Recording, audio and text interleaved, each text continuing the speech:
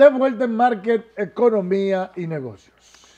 El director ejecutivo del INAPA, Wellington Arnaud, supervisó personalmente la construcción de la planta de tratamiento de aguas residuales en Partido de Dajabón. Nuestra compañera, nuestro compañero Carlos Bueno con los detalles. A buen ritmo marchan los trabajos de construcción de la planta de tratamiento del municipio de Partido. Es la tercera vez que el director ejecutivo de INAPA, Wellington Arnaud, visita esta importante obra enclavada en esta localidad. Escuchemos lo que dijo el director ejecutivo de INAPA en el municipio de Partido, luego de haber realizado un recorrido tanto por el partido como también por la provincia de Montecristi, de supervisión, como marchan los trabajos de construcción de varias plantas de tratamiento que se están construyendo en Partido y también en Montecristi. De igual manera, algunos comunitarios ven como positivo al ritmo que marcha la planta de tratamiento de esta localidad de partido en la provincia de Dajabón. Todo el mundo sabe lo que ocurrió aquí con los fondos para hacer este acueducto. Eh, de manera que han pasado dos o tres contratistas. Gracias a Dios ya ustedes están viendo cómo va este proyecto. Está en un 75%. En los próximos meses estará listo. Y por fin ya los ciudadanos de este municipio de Partido tendrán su agua potable eh, en cada hogar, como prometió el presidente de la República, Luis Abinader. Gracias a Carlos Bueno.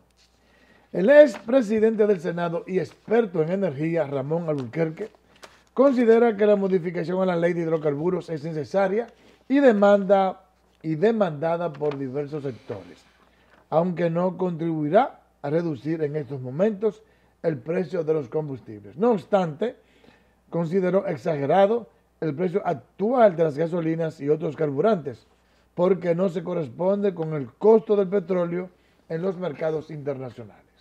Considera exagerado que el galón de gasolina esté costando 235 pesos si se compara el precio actual del petróleo, lo que a su entender está generando un enredo numérico y confusión al consumidor.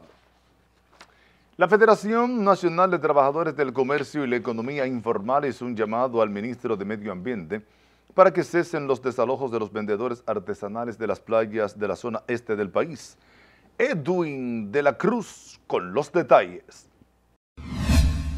Tomás Cherry Morel, presidente de la federación, dijo que ya han sufrido dos desalojos en lo que va el presente año, afectando así a más de 600 trabajadores que dejarán de llevar el sustento a sus hogares. De este desalojo inhumano. Estamos hablando que en tiempo de pandemia es una población de más de 600 trabajadores que van a dejar de recibir el sustento de su familia con la apertura del turismo. Más de 600 trabajadores directos sin mencionar el régimen de dependencia. Pidieron al presidente Luis Abinader intervenir para que impida lo que definen como un abuso del ministro de Medio Ambiente y advirtieron que se manifestarán con protestas para preservar su derecho al trabajo en las zonas turísticas del país. Estamos coordinando un encuentro para en la próxima semana nosotros decidir y ir junto al, al Palacio Nacional a reclamar lo que es el derecho que le asiste a estos ciudadanos para ocupar esas áreas. Como decimos, el derecho es partiendo de que tienen más de 30 años ocupando esta área y las autoridades, tanto del turismo como del Ministerio de Medio Ambiente, están hace tiempo dándole el seguimiento para que estas personas sean reubicadas en una área donde no estorbe lo que es el entorno tanto del turismo como también la propiedad privada. El Ministerio de Medio Ambiente y Recursos Naturales dio inicio al plan de rescate ambiental de la playa Cabeza de Toro en el Distrito Municipal Verón Punta Cana, con el retiro de decenas de locales comerciales ubicados a menos de 60 metros de la pleamar, en violación a la Ley General sobre Medio Ambiente 6400.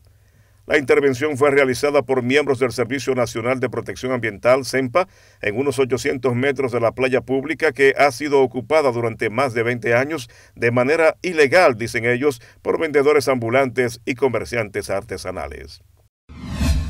El presidente del Consejo Nacional de Trabajadores Dominicanos, Jacobo Ramos, lamentó que los desvinculados de la administración pública no estén recibiendo sus prestaciones laborales. Nuevamente, Edwin de la Cruz tendrá la historia. Jacobo Ramos dijo que es lamentable que en cada cambio de gobierno se produzcan tantas cancelaciones de trabajadores en el sector público sin que además se tenga la previsión del pago de las prestaciones laborales. Todos sabemos que de manera lamentable la República Dominicana es un país clientelar, que cuando se produce un cambio de gobierno vienen las famosas cancelaciones en la administración pública ya eso es una constante en la historia de la República Dominicana. Ojalá y podamos ir hacia un ambiente en el futuro de desarrollo del país en donde esto no se produzca, un nivel de institucionalización de la República Dominicana donde las leyes se respeten. El presidente de la CNTD afirmó que dentro de la crisis que genera la pérdida de un empleo, la entrega a tiempo de las prestaciones laborales debiera ser la práctica frecuente para así aliviar la falta de recursos en los hogares de los desvinculados. Que es una realidad en la República Dominicana cuando se produce un cambio de gobierno, el hambre cambia de, de casa porque cancelan de manera general prácticamente a todos los empleados del sector de la administración pública. Eh, nosotros entendemos que en ese marco de esa conducta que hay en la República Dominicana, reitero, clientelar, lo que se debe propiciar es que si ustedes vinculan, se le entreguen sus prestaciones laborales para que la gente con esos recursos pueda de alguna manera eh, sobrepasar lo que representa el que una persona sea despedida de su empleo. Las quejas por falta de pago de prestaciones laborales están a la orden del día, donde miles de empleados han sido despedidos y aún sin recibir sus prestaciones laborales. Muchos casos luego de varios meses, situación que lleva a protestas y hasta acciones más atrevidas como el desnudo que hizo Wendy Josefina Hernández frente al Palacio Nacional en reclamo de que el Ministerio de Obras Públicas le pague sus prestaciones laborales. Gracias, don Edwin de la Cruz. El presidente de la Asociación de Importadores de Acero de la República Dominicana se quejó de prácticas desleales apoyadas por sectores del gobierno que colocan dumping a las importaciones de acero con el interés de eliminar a empresas dedicadas a este tipo de importaciones en beneficio de otras.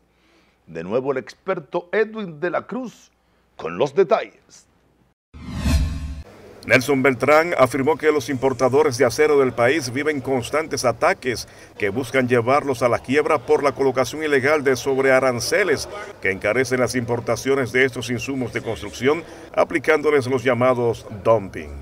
Se llegó un momento, y ahí fue donde yo hice la advertencia, de que estaba por, lo, lo pusieron aquí por debajo del costo, porque buscaron el costo de importación de nosotros lo bajaron aquí por debajo del costo, que eso sí es dumping, para desaparecernos, que de hecho algunos de nosotros hemos tenido muchísimo inconveniente para, traer acero, porque desde que usted trae acero a República Dominicana, inmediatamente encuentran la forma de bajarlo. Beltrán dijo que una forma de que el precio del acero para la construcción baje de precio es eliminando el dumping.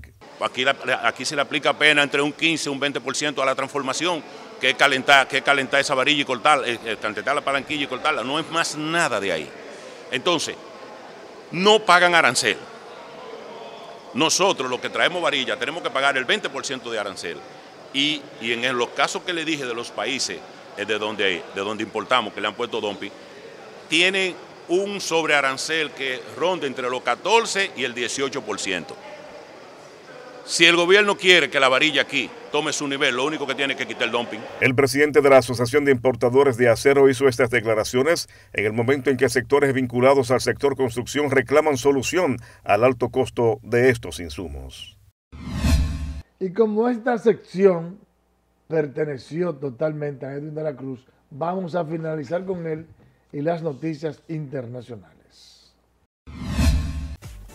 En Estados Unidos, Paper anunció que acordó comprar la empresa emergente israelí Curve, especializada en infraestructuras de seguridad para activos digitales, lo que supone un paso más para acelerar y ampliar sus iniciativas de apoyo a las criptomonedas.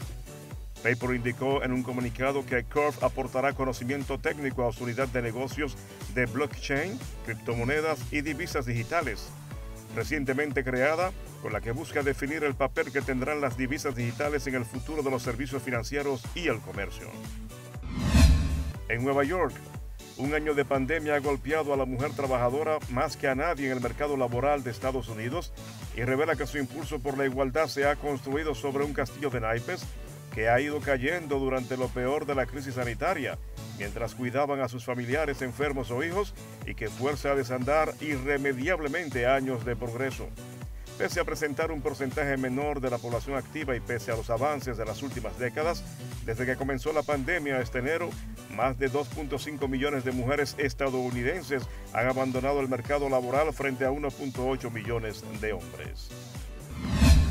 En Europa, los ingresos brutos por hora de las mujeres fueron en el año 2019 un 14.1% inferiores a los de los hombres en la Unión Europea, informó la Oficina de Estadística Comunitaria Eurostat.